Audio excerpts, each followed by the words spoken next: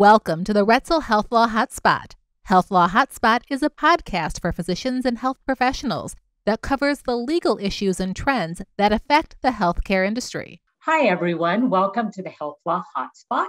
I'm Ericka Adler, shareholder and health law practice leader at Roetzel and Andress. And today I'm joined by Patrick Flaherty, AA. And today we're going to talk about a really fascinating topic.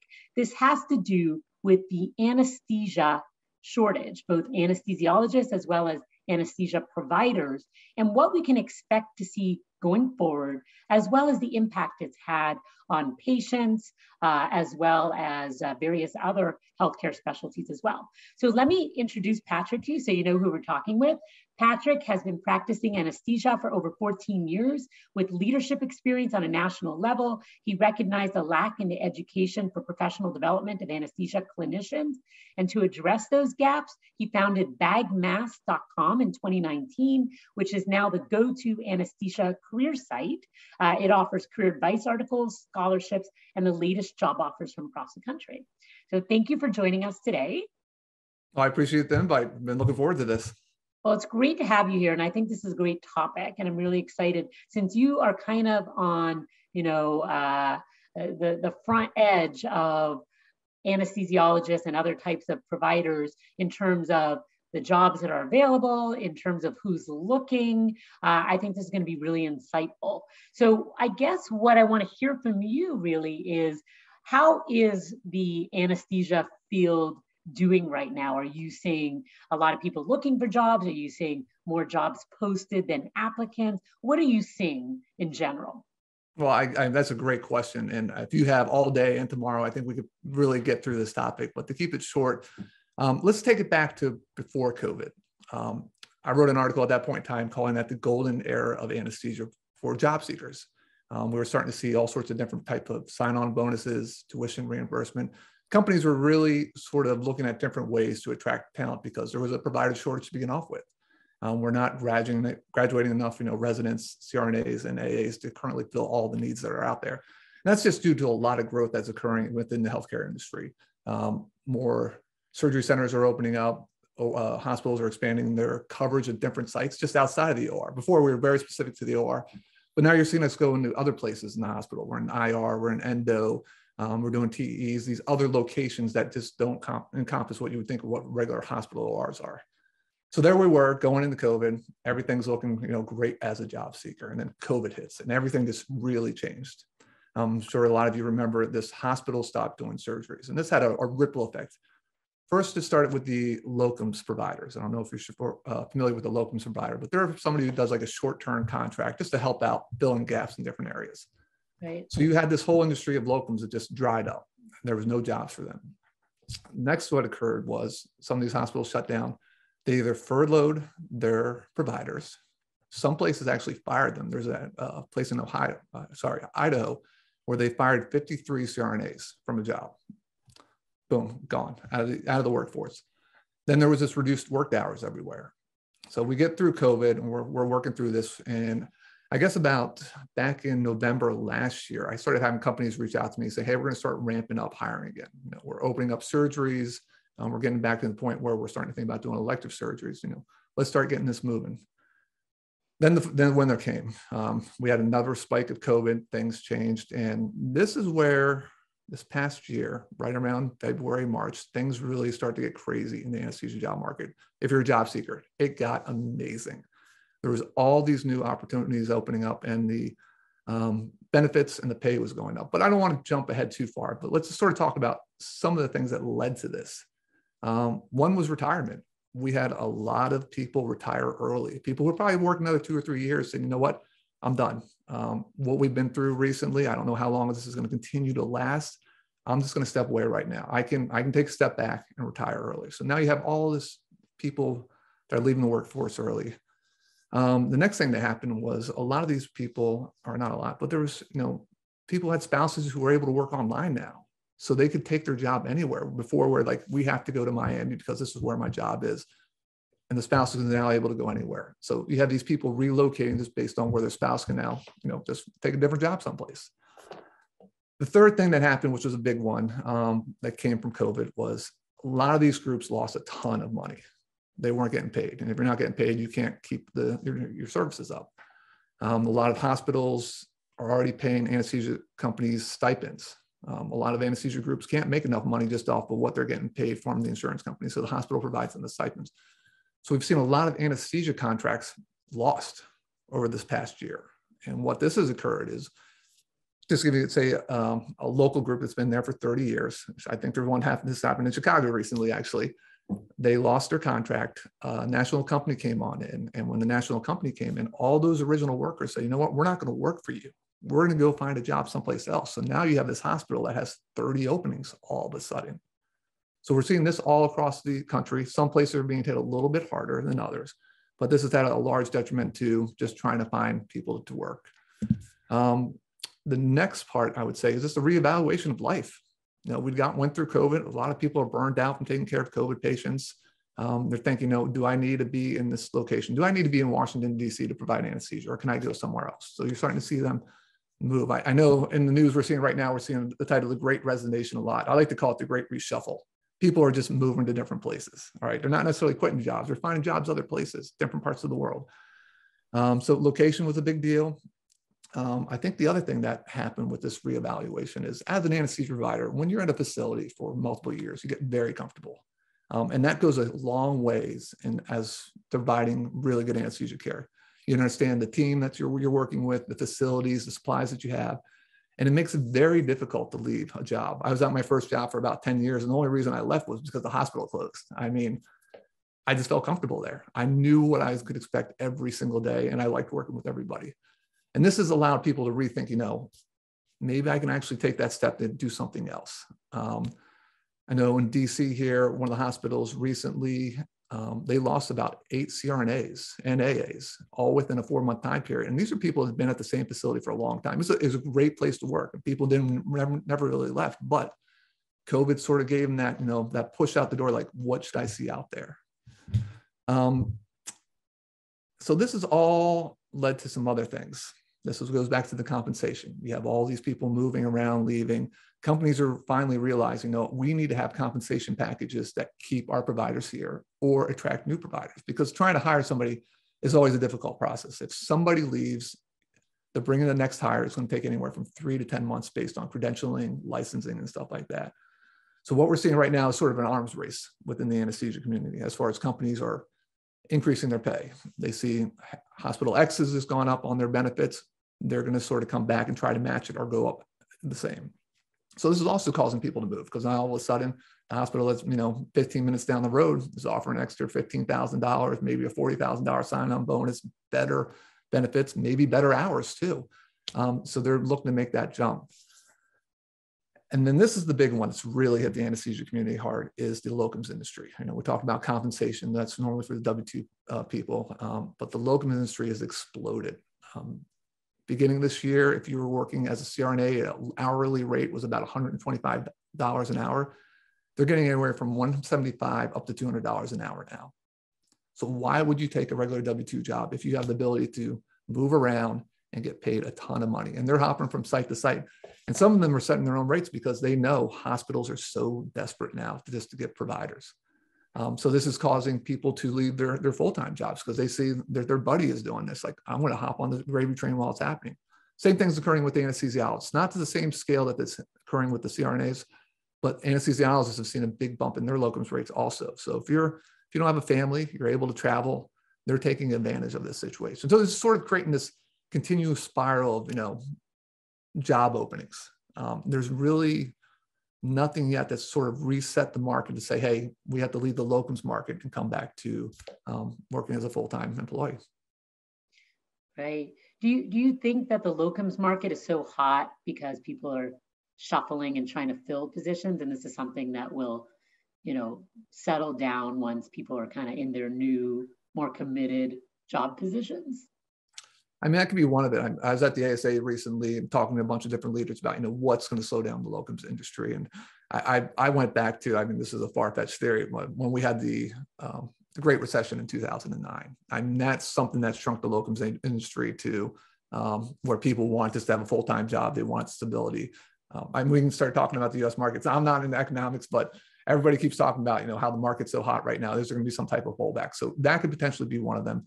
But you're correct. Um, it's because people are shuffling around so much that these hospitals need to fill in these little gaps in between.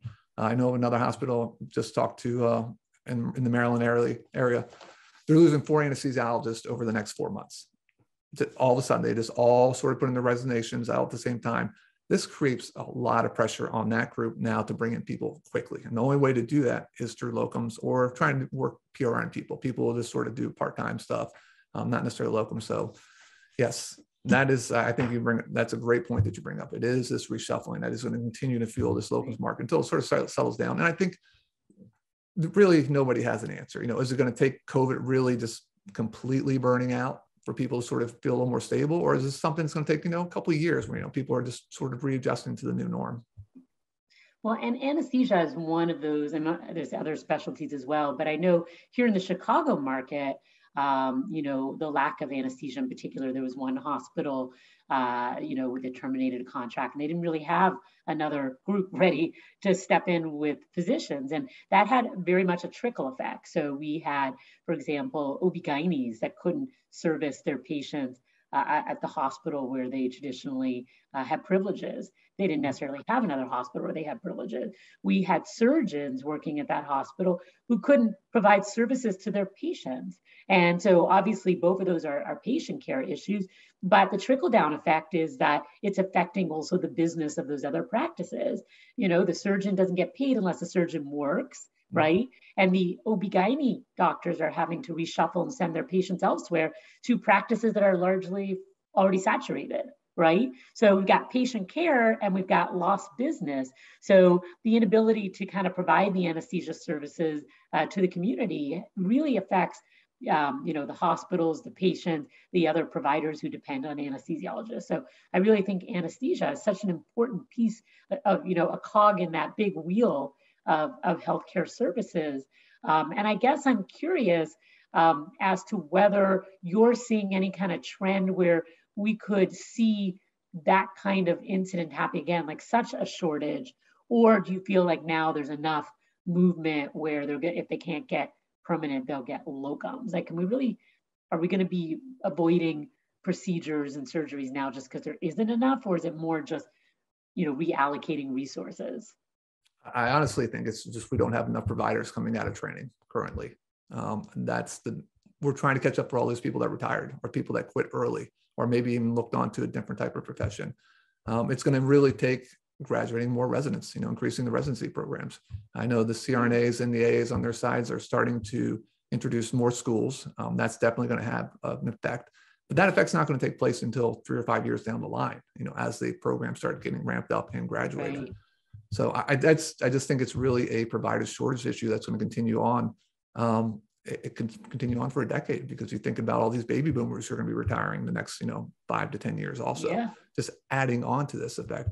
Um, there's going to have to be a, a, giant push. I don't know where that comes from. I don't know if it comes from government subsidies or um, encouragement to increase the amount of people that are starting to go into this field. But I would be very curious to, uh, you know, also find out from the universities on their side, are they still seeing the same amount of applicants applying for these positions after they've seen what happened this past year? I mean, they're they're reading all these stories, hearing all these stories about these, uh, not even just anesthesia providers, but all sorts of doctors and nurses being put in these these right. tough situations of you know being in ICUs with people just dying, bodies stacking up on the side of the road in trucks.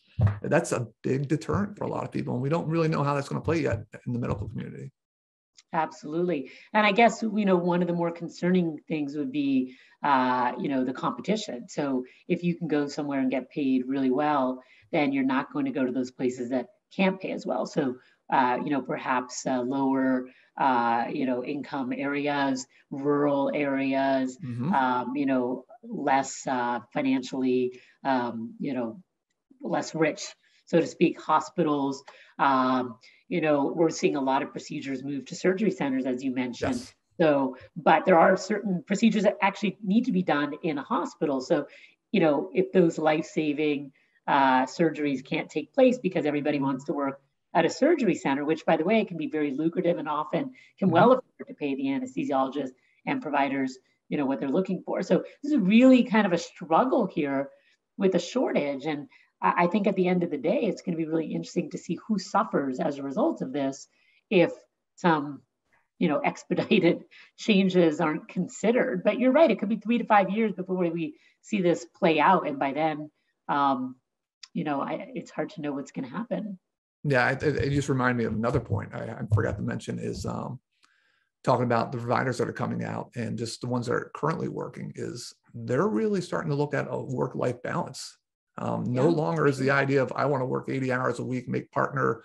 There's a lot of people out there that want to work part-time um, especially i've talked to a, lot of um, female colleagues in their early 30s um, in the 30s that they want to be able to spend a little more time at home. They're not necessarily looking for that job that's going to take call at night not even just uh, females but males also. They don't want to be working on the weekends. They want to start enjoying their life a little bit more. I think covid brought that out.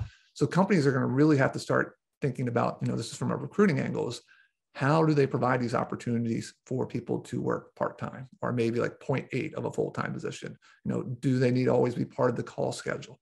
This once again goes back to what you're talking about you know the ripple effect is if we don't have enough providers there in the or all the time surgeries are going to get pushed back and pushed back and pushed back.